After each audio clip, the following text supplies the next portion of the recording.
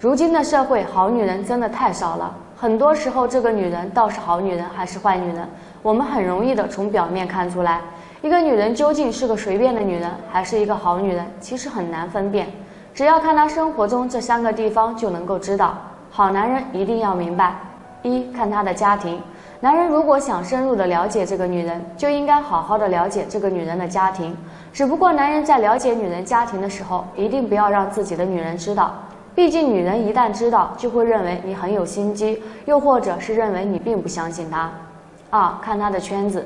异性缘很好，有很多哥哥。生活中有很多这样的女人，异性缘很好，身边有很多异性朋友对她嘘寒问暖。你若问她和他是什么关系，她只是笑笑说那是自己的哥哥。三看她的感情史，女孩感情经历的多了，对一些经典的浪漫就感到索然无味了。